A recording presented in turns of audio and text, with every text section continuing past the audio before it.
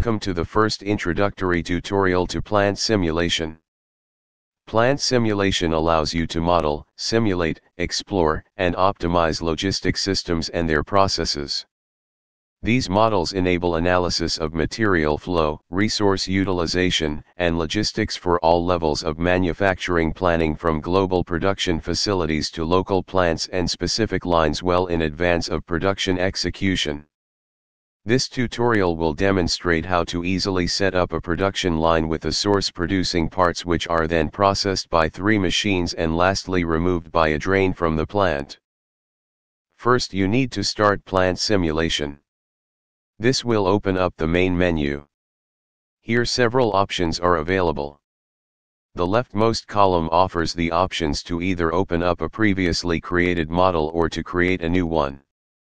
Next, the middle column offers information on how to get started with plant simulation. Here you have example models to get started with, video tutorials like this video, a quick start guide in written form or new features that have been introduced in the latest version of plant simulation. In the rightmost column, additional helpful links are available.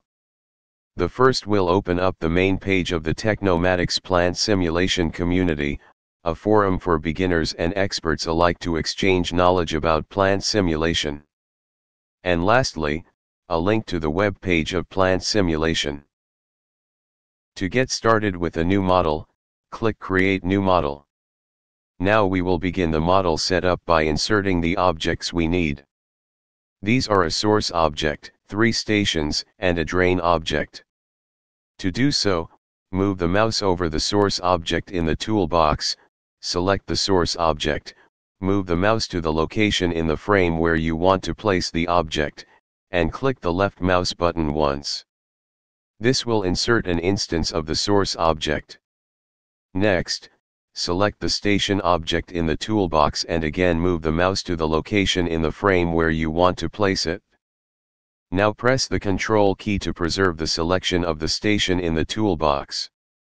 This allows to insert several instances of the station object. Finally, select the drain object in the toolbox and place it in the frame. Next, we connect the objects so that the parts can move from station to station. To connect several objects one after the other, select the connector in the toolbox and hold down Ctrl key while clicking on the objects in the frame. To terminate connect mode, click the right mouse button once or just press the escape key. To make adjustments to the layout of the plant easier, it's also possible to switch to the planning view. This can either be done by selecting the planning view on the ribbon tab view, or simply by pressing the P key. Now we see the grid from the top. To switch off planning view mode, simply press the P key again.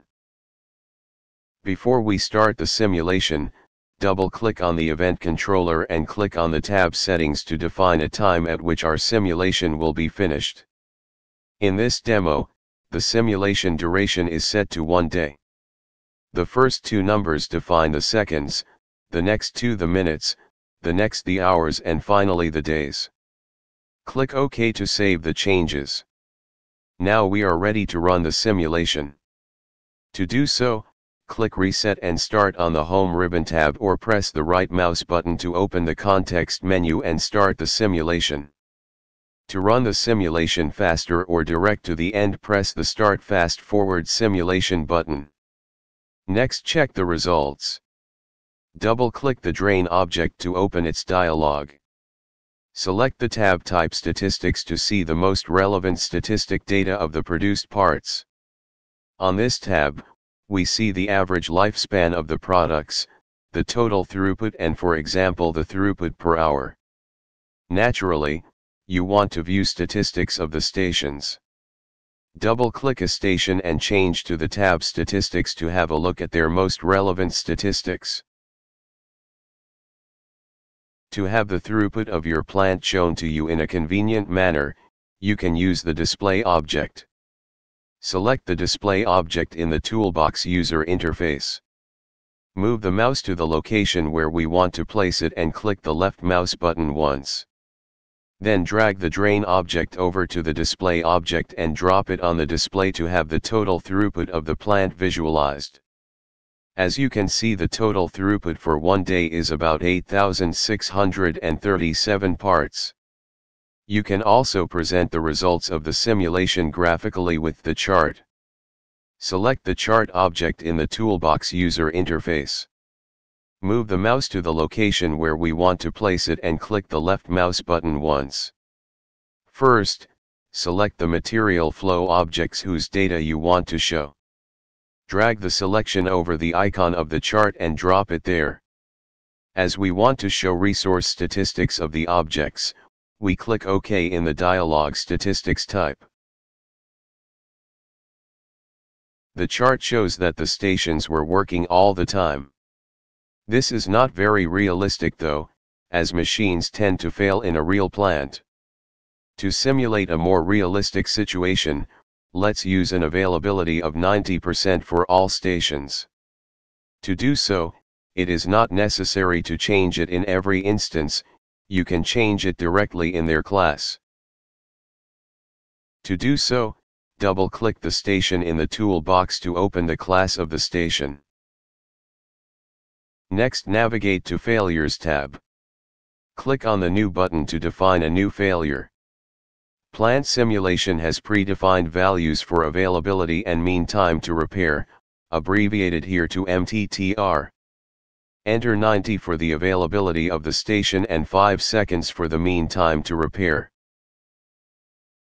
When you click apply, plant simulation automatically enters the corresponding interval and duration. Next, click OK. When you open the dialog of the station, you see that they inherited the settings of their class. Finally, reset the simulation and run it again in the full speed simulation. When checking the resource statistics chart, we see that in addition to working, the stations now also failed, blocked, and waited.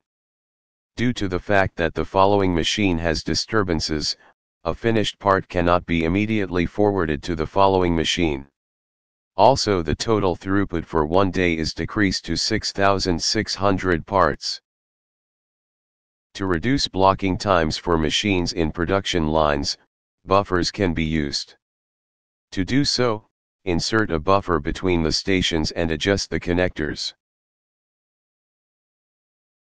The buffer not only tides over failure times but also serves as a compensating station for fluctuating transport and operating times, which lead to queues forming in front of a machine or a component.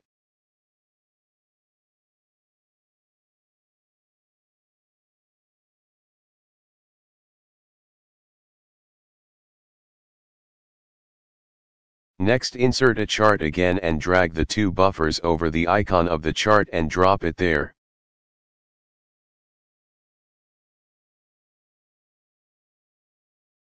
As we want to analyze the occupancy of the buffers, we click OK in the dialog statistics type.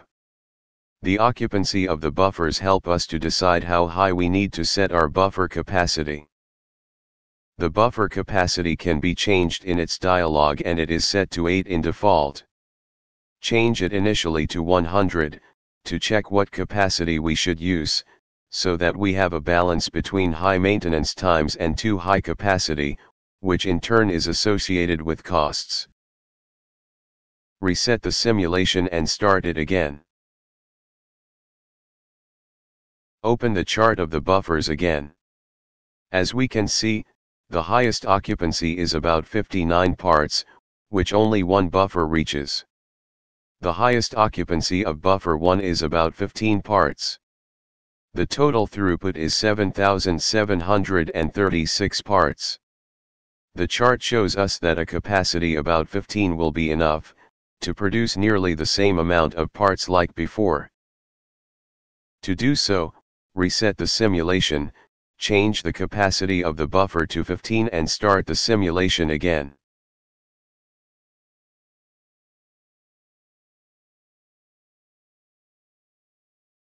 You can control the simulation speed on the event controller.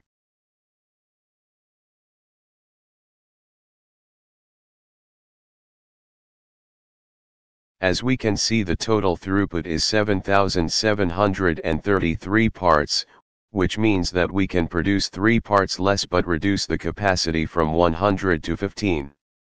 When checking the resource statistics chart, we see that the blocked and waiting times decreases, due to the buffers.